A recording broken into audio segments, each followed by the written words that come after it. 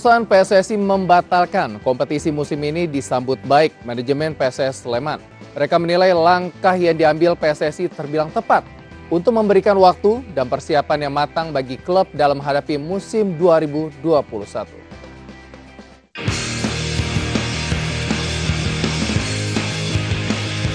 Kontestan Liga 1 Indonesia PSS Sleman mendukung langkah Ketua Umum PSSI Muhammad Iriawan untuk membatalkan Liga Indonesia musim 2020 karena keadaan luar biasa atau force majeure. Direktur PSS Sleman Marco Gracia Paulo mengungkapkan langkah PSSI untuk membatalkan Liga 1 dan 2 sudah tepat. Selain itu, keputusan tersebut memberikan waktu dan nafas bagi klub untuk berbenah dan fokus pada kompetisi musim baru 2021. Di samping itu, langkah PSSI untuk menyerahkan kontrak pemain dengan ketentuan dari klub masing-masing dirasa bijaksana karena dirasa pemain mendapat kepastian.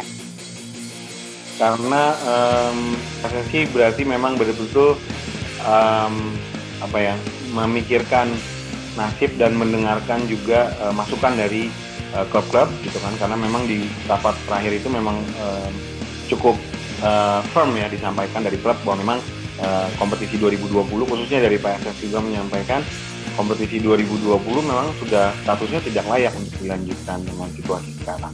Jadi saya pikir ini keputusan yang bijaksana, ini keputusan yang baik untuk kita semua. Uh, memang ini tidak ideal, tidak ada keputusan yang akan ideal untuk saat ini, tapi ini akan memberikan ruang dan waktu cukup untuk klub bisa uh, bernafas dan berbenah. Saya sama ya, itu cukup bijaksana juga seperti yang saya sampaikan tadi bahwa memang sejatinya uh, karena ini diputuskan oleh oleh uh, federasi gitu ya. Uh, jadi dari governing bodies memang sudah diresmikan dan itu disahkan maka uh, ada klausul yang memang bisa diactivate di dalam uh, kontrak uh, pemain. Tetapi justru buat saya angle-nya pemain juga akan lebih merasa uh, relief ya gitu. Malah merasa lebih tenang karena uh, kemarin ini kan ada di dalam ketidakpastian gitu. jadi menurut saya keputusan mengenai kontrak pemain memang dimasukkan ke dalam kategori uh, apa uh, tahar gitu ya maka uh, itu memang menjadi solusi yang terbaik saat ini.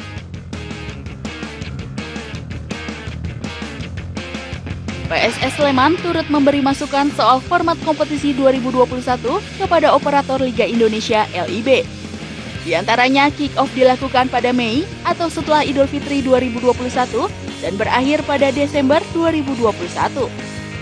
Dalam opsinya ini, format terbaik adalah diselenggarakannya kompetisi dalam dua wilayah, dan opsi lainnya format liga secara normal home away bila situasi sudah kembali normal. Tim Liputan Sport Today.